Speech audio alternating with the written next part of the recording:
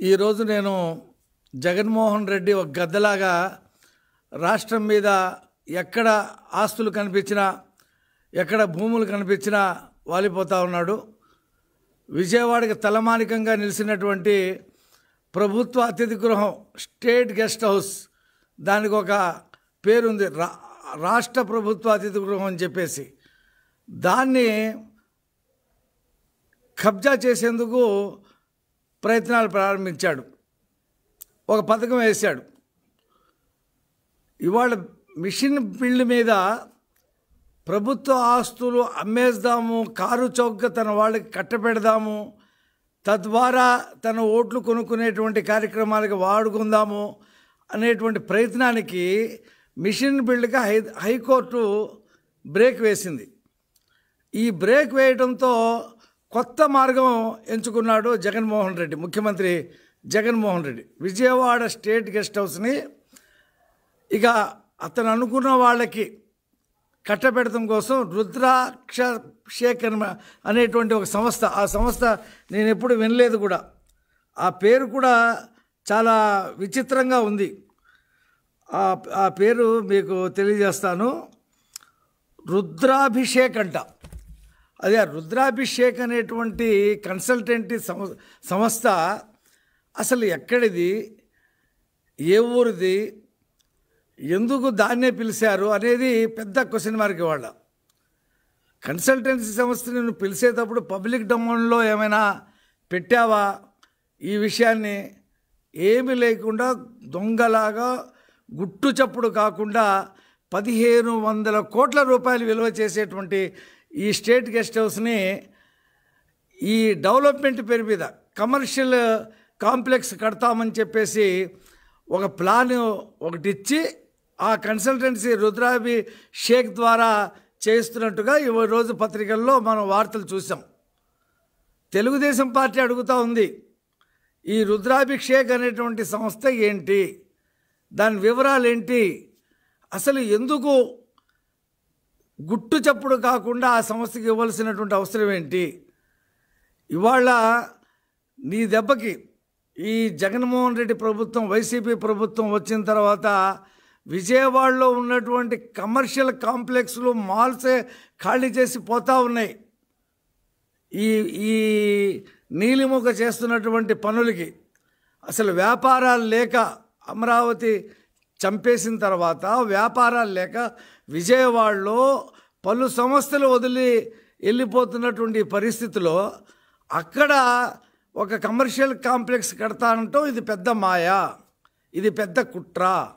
అంటే పదిహేను వందల కోట్ల రూపాయలు విలువైనటువంటి స్టేట్ గెస్ట్ హౌస్ని తన వాళ్ళకి కారు చౌకగా అప్పచెప్పడానికి ఒక పథకం వేసింది అనేది వాస్తవం. నేను డిమాండ్ చేస్తూ ఉన్నా. ఇవాళ జగన్మోహన్ రెడ్డికి నేను మేము ఛాలెంజ్ చేస్తూ ఉన్నాం. విజయవాడ గెస్ట్ హౌస్ జోలికి వెళితే తెలుగుదేశం పార్టీ సీఎం హౌస్ ఏదైతే తాడేపల్లి గెస్ట్ హౌస్ ఉందో ముట్టడిస్తాం. చాలా స్పష్టంగా చెప్తా ఉన్నాం. నీకు అధికారం లేదు. నువ్వు ఐదు సంవత్సరాల కోసం వచ్చినటువంటి వాడివి. ప్రజా సొత్తు అయినటువంటిది. ప్రజల ఆస్తి అయినటువంటిది రాష్ట్ర ప్రభుత్వ ఆస్తి అయినటువంటి గెస్ట్ హౌస్ని దొంగచాటుగా రుద్రాభిషేక్ ఏదో కన్సల్టెన్సీ ఇచ్చేసినట్టు అక్కడేదో కమర్షియల్ కాంప్లెక్స్ కట్టాలనేటువంటి ప్లాన్లో దీన్ని మీ వాళ్ళకి క అప్పచెప్పడానికి కట్టబెట్టడానికి వేస్తున్నటువంటి కుట్ర కాబట్టి మేము దీన్ని ఖచ్చితంగా వ్యతిరేకిస్తున్నాం ఈ ప్రయత్నాన్ని వెంటనే మానుకోమని చెప్తున్నాం. అసలు విజయవాడని మొత్తం కబ్జా చేసే ప్ర ప్రయత్నం చేస్తున్నావా అని చెప్పేసి అడుగుతూ ఉన్నాం. ఇక ఇలా వదిలేస్తే తెలుగుదేశం పార్టీ కనుక మేము దీన్ని అడ్డుకోకపోతే ఇక విజయవాడ బెంచ్ సర్కిల్ కూడా ఆయన ఇంకెవరో ఒకరికి ఇచ్చేస్తాడు ఇక. అందులో ఏం సందేహం లేదు. మూడు ఎకరాల ఇరవై ఐదు సెంట్లు ఉన్నటువంటి ఈ గెస్ట్ హౌస్ని ఒక్క గజం కూడా నువ్వు ప్రైవేటు వ్యక్తులకు ఇవ్వలేవు. ఇవ్వడానికి తెలుగుదేశం పార్టీ ఒప్పుకోదని చెప్పి ఛాలెంజ్ చేసి చెప్తా ఉన్నాం. కెనాల్ గెస్ట్ హౌస్ ఉండేది విజయవాడలో పంతొమ్మిది వందల అరవైలో కట్టారు. జాతీయ నాయకులు దాంట్లో ఉన్నారు. అది పాడుపడిపోయింది. సేఫ్టీకి కూడా అది బాగాలేదు పక్కన కెనాల్ వెళ్తుంది కాబట్టి అది రక్షణ పరంగా ఇబ్బందులు ఉన్నాయని చెప్పి స్టేట్ గెస్ట్ హౌస్ అంటూ ఒకటి దీన్ని కట్టారు. నువ్వు వచ్చిన తర్వాత దాంట్లో ఎటువంటి డెవలప్మెంట్ చేయకుండా పాడుపడిపోవటానికి ఎందుకు దీన్ని డెవలప్ చేయట్లేదని చెప్పి మేము అనుకుంటా ఉంటే అసలు విషయం ఇవాళ బయట బయటకు వచ్చింది. దాన్ని డెవలప్ చే దాన్ని బాగు చేయకుండా దాన్ని రిపేర్స్ చేయకుండా అలా పాడుపడిపోయినట్టు చేసి ఏదో ఒక కన్సల్టెంటీ సంస్థ ద్వారా దీన్ని మిషన్ బిల్లులోకి రాకుండా ఈ డెవలప్మెంట్ అనేటువంటి ఒక కొత్త మార్గం ఎంచుకొని దాన్ని కొట్టేయటానికి ప్రయత్నం చేస్తున్నట్టు ఇవాళ చాలా స్పష్టంగా ఇవాళ బయటకు వచ్చింది. ఇవాళ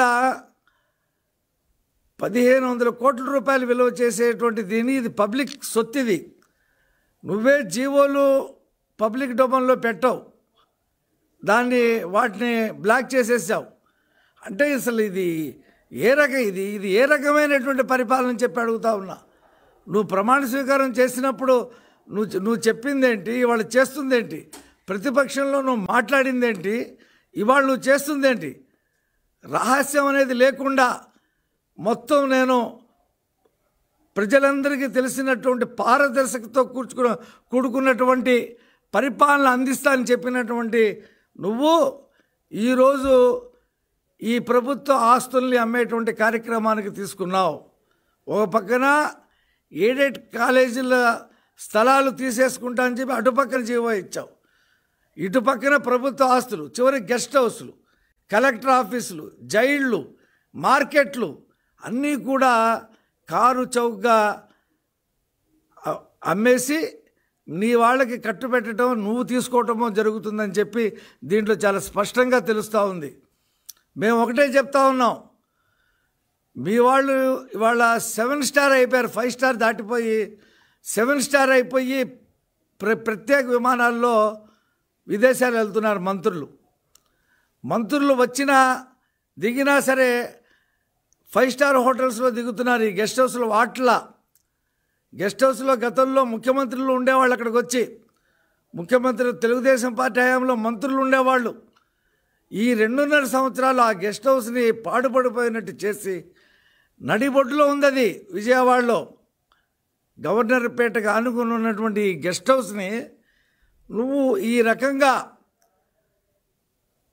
మిషన్ బిల్డ్ నుండి తప్పించి ఈ డెవలప్మెంట్ పేరు మీద చేయటాన్ని తెలుగుదేశం పార్టీ వ్యతిరేకిస్తుంది. నేను ఒకటే చెప్తాను ఈ- విజయవాడలో ఉన్నటువంటి పౌరులకి నేను విజ్ఞప్తి చేస్తూ ఉన్నా మీరందరూ కూడా ఇలాగే ఉంటే అసలు విజయవాడ మిగలదు. విజయవాడ మిగలదు. ప్రతిప ఇతర పార్టీలను కూడా నేను అడుగుతా ఉన్నా. రండి మనందరం కార్యాచరణ చేసి ఈ జగన్మోహన్ రెడ్డి చేస్తున్నటువంటి ఈ కుట్రని ఈ విజయవాడకి తలమానికంగా ఉన్నటువంటి గెస్ట్ హౌస్ని ఆయన దొంగచాటుగా దాన్ని డెవలప్మెంట్ పేరు మీద తన వాళ్ళకి అప్పచెప్పడానికి ప్రయత్నం చేస్తున్నాడు మనం. ఆదిలోనే అడ్డుకోకపోతే ఖచ్చితంగా పదిహేను వందల కోట్ల రూపాయలు విలువైనటువంటి గెస్ట్ హౌస్ కారు చౌక వెళ్ళిపోయేటువంటి ప్రమాదం ఉంది. మేము ఎలాగో తెలుగుదేశం పార్టీ దీన్ని అడ్డుకుంటుంది? ఖండిస్తుంది. పౌర సంఘాలు ప్రజా సంఘాలు మీరు కూడా రండి. మనం ఇలాగే ఊరుకుంటే ఈ కరోనా నిబంధనల పేరు మీద అరెస్టులు చేసేసి భయభ్రాంతులు చేసి మొత్తం ఈ ప్రభుత్వ ఆస్తులన్నీ కూడా అమ్మేయటానికి ప్రయత్నం చేస్తున్నాడు కొట్టేయడానికి ప్రయత్నం చేస్తున్నాడు. మేము గట్టిగా చెప్తా ఉన్నాం. మనందరం కూడా కలిసి దీన్ని ఎదుర్కోవాలి. ఎంతకైనా సరే ఈ గెస్ట్ హౌస్ అమ్మటానికి వీల్లేదు. ఒక్క గజం ఆ మూడు ఎకరాల ఇరవై ఐదు సెంట్లో ఒక్క గజం కూడా అతను ప్రైవేట్ వాళ్ళకి ఇవ్వడానికి వీలు లేకుండా మనం పోరాటం చేద్దాం ఉద్యమం చేద్దాం. తెలుగుదేశం పార్టీ దీనికి సిద్ధంగా ఉంది. కాబట్టి జగన్మోహన్ రెడ్డి నీ ప్రయత్నాన్ని ఆపేసేయి. ఇది విజయవాడ పౌరులకే కాదు రాష్ట్ర పౌరులకు సంబంధించినటువంటి అంశం. ఒక పక్క విశాఖపట్నంలో ముప్పై మూడు ఎకరాల్లో గెస్ట్ హౌస్ కడతావా? ఇక్కడ క్యాపిటల్లో అమరావతికి ఆనుకుని ఉన్నటువంటి క్యాపిటల్లో ఉన్నటువంటి గెస్ట్ హౌస్ని వాణిజ్య సముదాయం చేయడానికి ప్రైవేటు వ్యక్తులకి కట్టపె ప్రైవేటు వ్యక్తుల పేరు మీద మీ వాళ్ళకి కట్టపెట్టడానికి తెరలేపుతావా? దీన్ని రాష్ట్ర ప్రజలు కూడా వ్యతిరేకించాలి. ఇది రాష్ట్రానికి సంబంధించినట్టు అంశం. ఇది ఒక విజయవాడకి సంబంధించిన అంశం కానే కాదు. ఇతర రాష్ట్రాల నుండి వచ్చేటువంటి అతిథులు ఆ గెస్ట్ హౌస్లో ఉంటారు. అనేక డిపార్ట్మెంట్లు గెస్ట్ హౌస్లు ఉన్నాయి. ఆర్ ఉంది పంచాయతీరాజ్కి ఉంది. ఇది నేరుగా జిఐడి కింద ఉన్నటువంటి గెస్ట్ హౌస్ ఇది. దీంట్లో ఎంతోమంది మాజీ ముఖ్యమంత్రులు మాజీ గవర్నర్లు మాజీ మంత్రులు అనేక మంది ప్రముఖులు మేధావులు విజయవాడ వస్తే కారు చౌకగా అక్కడ ఉండటానికి ఒకటి రెండు రోజులు ఉండి వాళ్ళకి పని చేసుకొని వెళ్ళటానికి అనువుగా ఉన్నటువంటి ఈ గెస్ట్ హౌస్ని నువ్వు పంపిస్తే అంటే ఇంకా విజయవాడకి ఎవరు రాకూడదు. వస్తే మాత్రం త్రీ స్టార్ ఫైవ్ స్టార్ హోటల్లోనే ఉండాలనేటువంటి ఉద్దేశమా? మీరైతే ఉంటారు మంత్రులు కదా. మంత్రులు ఎంపీలు ఎమ్మెల్యేలు ప్రభుత్వ ఖజానా నుంచి తీసి ఫైవ్ ఫైవ్ స్టార్ హోటల్స్లో ఉంటారు మీరు. కానీ మాజీ మంత్రులు మాజీ ముఖ్యమంత్రులు గవర్నర్లు ఇతర రాష్ట్రాలు వాళ్ళు ఈ విజయవాడని సందర్శించడానికి వచ్చినప్పుడు అనువుగా ఉన్నటువంటి ఈ గెస్ట్ హౌస్ని ఖచ్చితంగా కొనసాగించాలి దాన్ని రిపేర్ చేయాలి. ఆ రాష్ట్ర ప్రభుత్వ ఆస్తిని అమ్మటానికి ఏ మాత్రం తెలుగుదేశం పార్టీ ఒప్పుకోదని చెప్పి నేను గట్టిగా ముఖ్యమంత్రికి నేను తెలుగుదేశం పార్టీ తరఫున హెచ్చరిస్తూ ఉన్నాను.